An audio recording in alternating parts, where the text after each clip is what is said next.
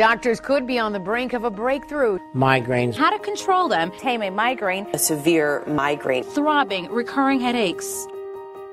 Given all the noise, navigating the migraine experience can be confusing and scary, but you do not have to do it alone. Welcome to the Migraine Guy Podcast, the official podcast of themigraineguy.com and theheadachereview.com. Now, here's your host.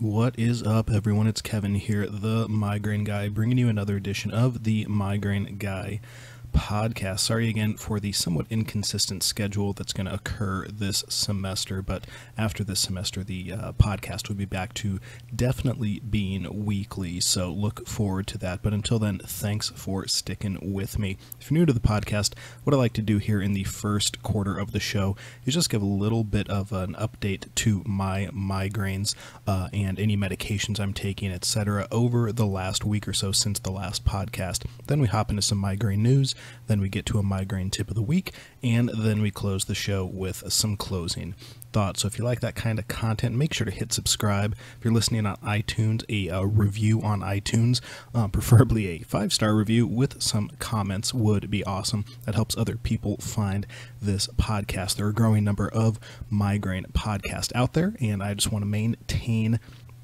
um, our status as uh, one of the first. So um, let's go ahead and get those reviews in if you wouldn't mind.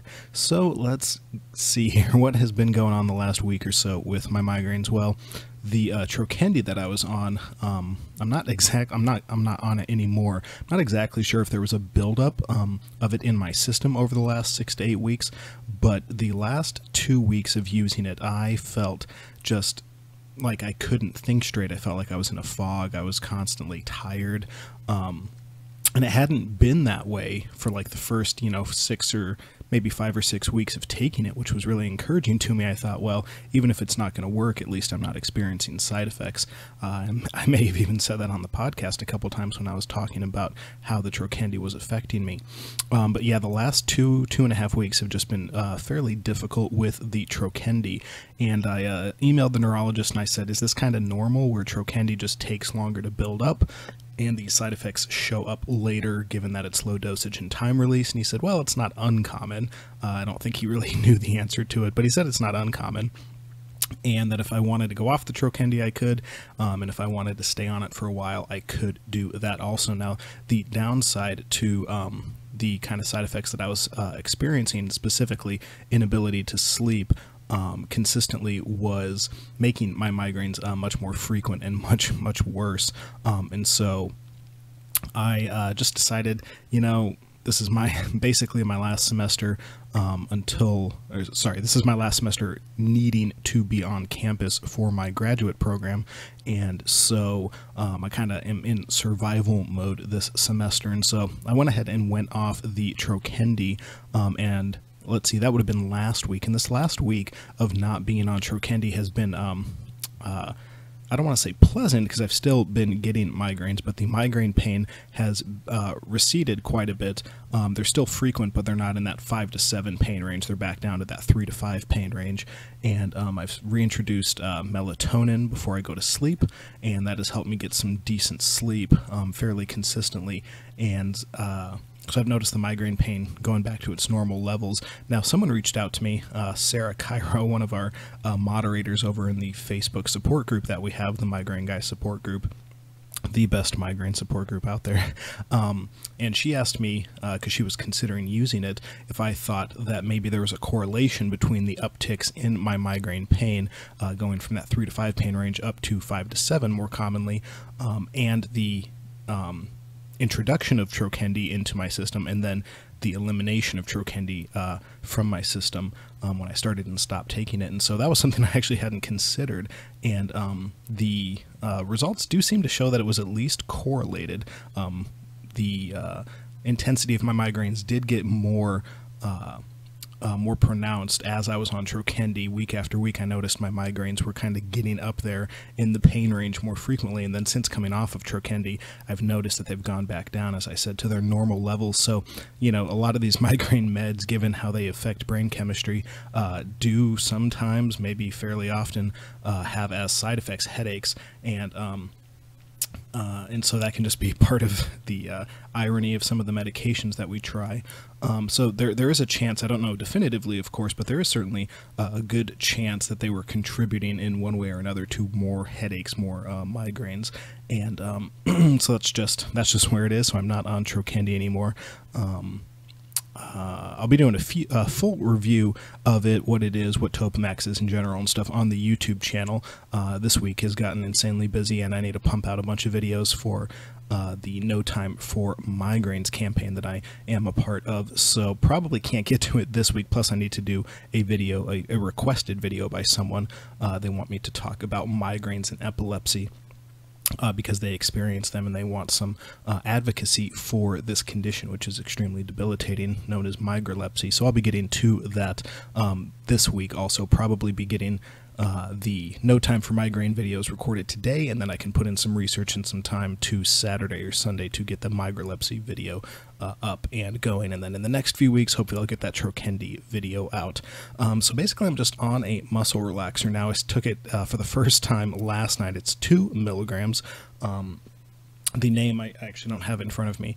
Uh, I'll I'll get you the name in the show notes and let you know next week also. But uh, I woke up at about four o'clock this morning. Um, I didn't take my melatonin last night just because taking a muscle relaxer. Um, uh, get my, the experience I have, excuse me, with muscle relaxers uh, made me think that I was just going to sleep without any need for melatonin. But popped wide awake at uh, I guess it was about 3:30 a.m., four o'clock, and uh, I, I, feel super. I'm recording just about an hour and a half after waking up.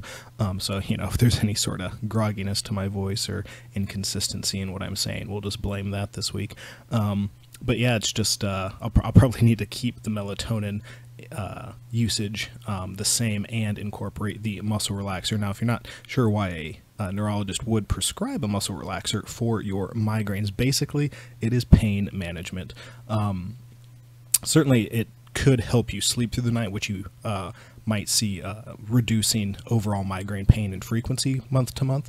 Um, but at the very least, it's going to be uh, basic pain management. A muscle relaxer just kind of confuse my my brain on some of the signals it's receiving, and um, just keep my pain levels hopefully down from that uh, five to seven range, um, and uh, um, hopefully that'll also correspond with the Trokendi not being in my system. But uh, uh, some of the migraines that I've been getting, even um, prior to the last two weeks, have just been a little too intense for my liking. And so, hopefully, uh, now, of course, the muscle relaxer is not a long term solution. This, like I said, is just me being in survival mode for the semester. So, uh, once the semester's over, the muscle relaxer will go away, and I will definitely be trying a couple other medications. I also want, as an uh, as an abortive, I definitely want to try a couple different options because the ones that I have right now uh, really don't do much for me um, consistently, and that that can be very annoying when you're at like a level seven or eight and you just want the pain to stop. So uh, that's kind of where I am at. Sorry for the long-winded discussion. Um, things are going okay though. You know, I'm not not too.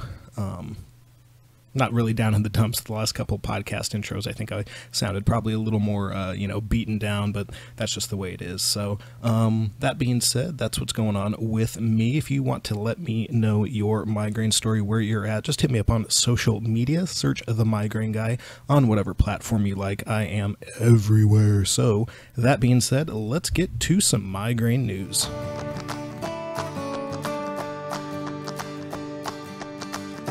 All right, this week's bit of migraine news comes to us from the website. Where'd it go? There it is, Clinical Pain Advisor clinicalpainadvisor.com. Clinicalpainadvisor.com um, does a nice job of cataloging and summarizing studies as they relate to pain conditions, and the ones I'm looking at specifically have to do with chronic pain conditions. They do a very nice job of summarizing uh, surveys, studies, and articles as they relate to these conditions. Now, the particular article I'm looking at is entitled Back Pain in Chronic and Episodic Headache. Now, a chronic headache sufferer is someone who's going to be experiencing 15 or more more headaches per month. And an episodic headache sufferer is someone who's going to be experiencing less than 15 per month.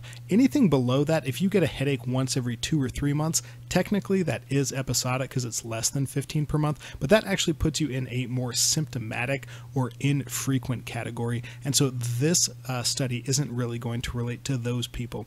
Basically, if you get some migraines or headaches per month, but it's not more than 15, you are probably episodic. And if it is equal to or more than 15, you are chronic. But the interesting thing that this study um, looks at, and the study is from the European Journal of Pain, and they uh, had about 800 participants in the study.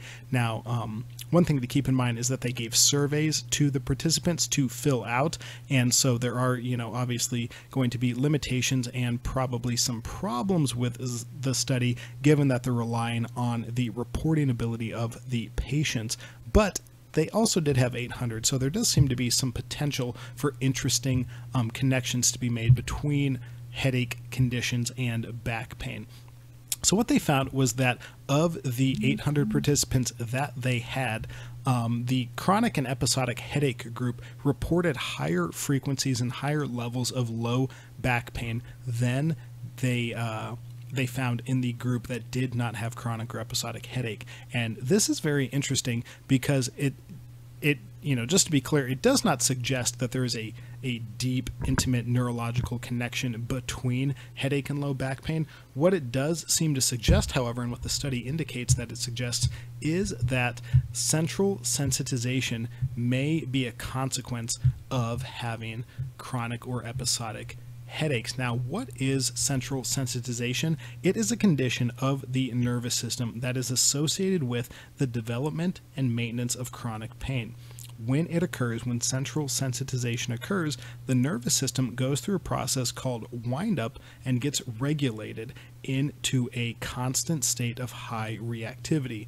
This means that the threshold for what causes pain and subsequently comes to maintain, maintain pain will be there even after the injury might have healed. And so the reason that, uh, at least the theorized reason that headache sufferers, either chronic or episodic, report higher frequency and higher levels of pain with their lower back is because their central nervous system, their peripheral nervous system, their nervous system in general is more sensitive to pain stimulation.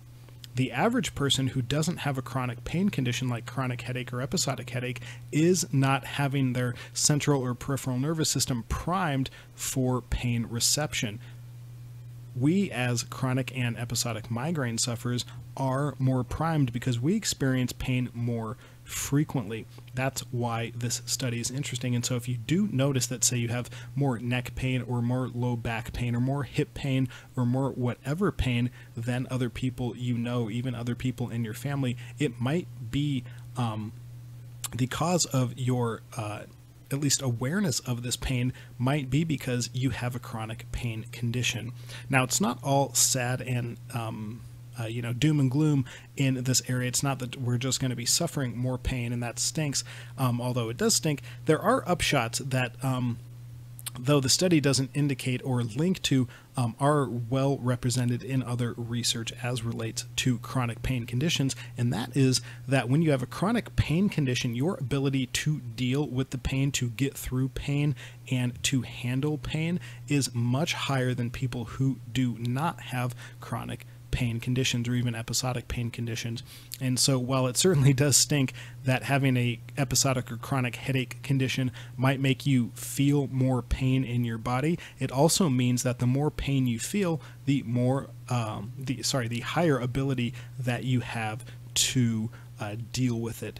And so, if you notice that other parts of your body are very, very painful and very, very sensitive, it might not be because anything else is actually wrong with you. It could just be this central sensitization that this study is pointing to. So, it's just something to keep in mind. Definitely something to talk with your doctor about if you notice that you have any particular pains in joints or uh, muscle areas that are not related to your headache or migraine condition, it might be central sensitization, and that might be able to uh, give your doctor a, a different treatment route to help you manage your pain. As I said in the intro, I am currently on a muscle relaxer. Um, I'm not exactly sure if that is going to help um, my low back pain and my neck pain, but I'm definitely going to uh, give it a, a fair shake and see if it helps and see if central sensitization uh, is playing a role as far as I can tell. So that is it for migraine news. We actually have a, uh, a sponsor for the show now, Promius Pharmaceuticals,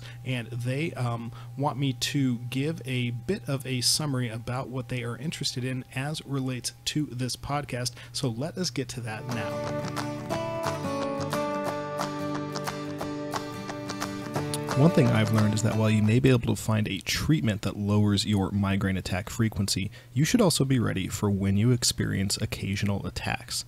As a paid spokesperson for No Time for Migraines, sponsored by Promius Pharma, I wanted to let you know about a great resource to help you better understand your treatment options for when these attacks occur.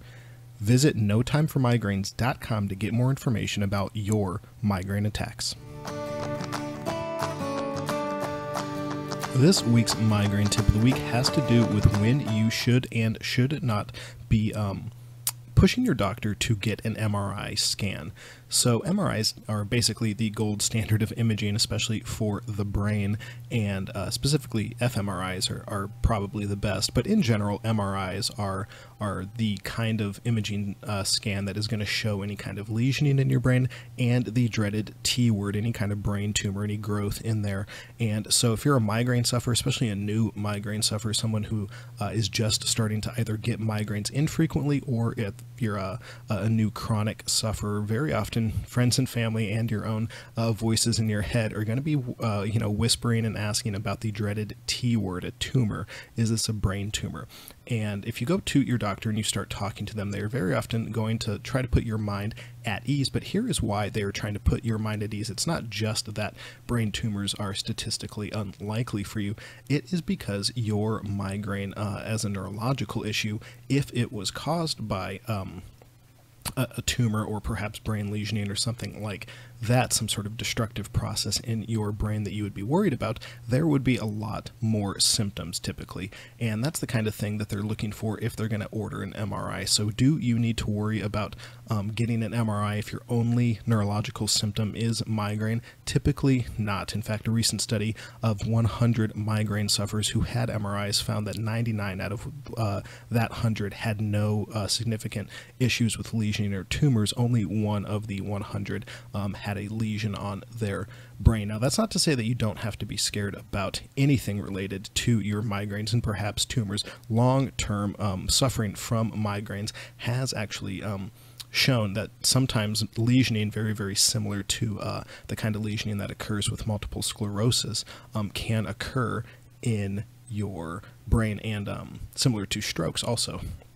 And so these are the kind of things that over time you definitely might be concerned about and want to talk to your doctor about getting an MRI. But if your main concern is, well, I have this terrible migraine problem, do I have a brain tumor? There are going to be a series of neurological tests that your doctor or neurologist is going to perform on you that you can actually um, you know, watch a couple YouTube videos and read some stuff online and perform this at home. It's not um, it's not the the kind of neurological exam that's going to involve any sort of tools. It's not going to involve any sort of special knowledge. Typically, these kind of exams involve touching certain parts of your body to make sure that you have sensations there, and the the the parts that they touch correspond to you know overall uh, brain um, access to parts of your body. So they want to make sure that you have feeling in your arms, that you have strength in your arms, that you have feeling in your legs, that you have strength in your legs, neck, back, etc., um, etc.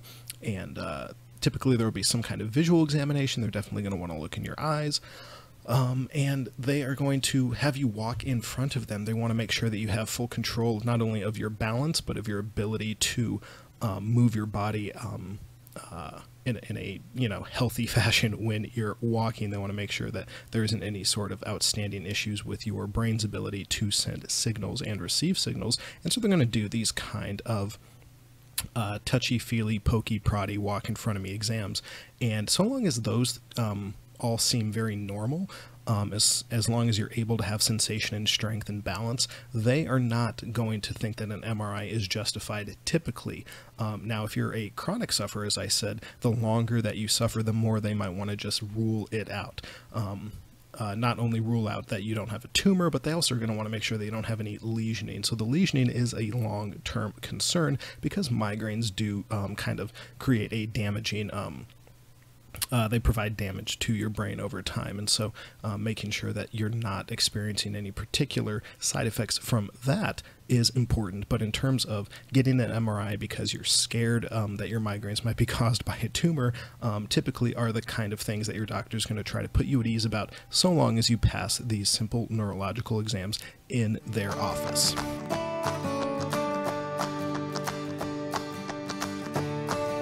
All right, everyone. In closing, I wanted to uh, remind you that if you have not subscribed, you really should do so. Um, I've got a, a, very special guest coming on in the next few weeks to the podcast, and I uh, will hopefully be getting the video of that interview on the YouTube channel as well. If you want uh, more of a, a video-based interview, uh, if you don't like listening to them on podcast, but the uh, person I'll be interviewing is a state uh, legislator, state senator in my state of Nebraska, and she is pushing for, and I believe she's the only legislator actually pushing for the legalization of medical marijuana, medical grade cannabis, and that is interesting. I think for two reasons. I think it'll make for a good podcast for two reasons. The first reason is that um, I think just the process of uh, getting a law passed that would take a substance um, and say we don't care that the federal government says it's illegal. We as a state are going to allow it. So I'm just curious um, on kind of how the whole uh, making something that's illegal legal process works. But also, I'm interested in her motivations.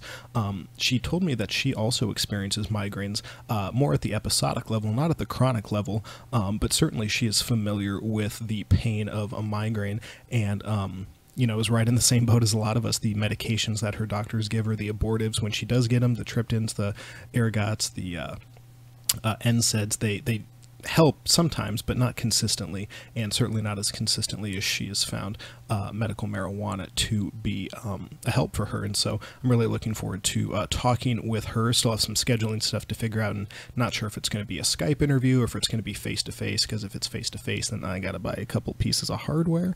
Um, but if it's a Skype interview, then that'll make putting it up on the YouTube channel. Uh, super easy and making the podcast super easy because I can just extract the audio from that. So make sure to hit subscribe because we've got that coming in the next week or two. Um, thanks for listening. If you haven't subscribed, as I said, I hope you will. If you haven't left a review, I hope you will. And if you want to become a patron, if you like this kind of content and you want to directly support me so that I can continue doing it um, as frequently as possible, you can head over to patreon.com slash the migraine guy. You can uh, subscribe to um, the newsletter that we have, and you can donate as little as $1 per month through Patreon. Patreon's a very secure and very popular platform for uh, people like me who put out online content um, and have an audience or a community that wants to help me continue to do that financially. So you can, uh, you know, give me one dollar a month if you wanted to uh, show your support for the migraine guy. Until next week, or perhaps the week after, depending on when I can get the next podcast recorded. Just remember that you are not alone.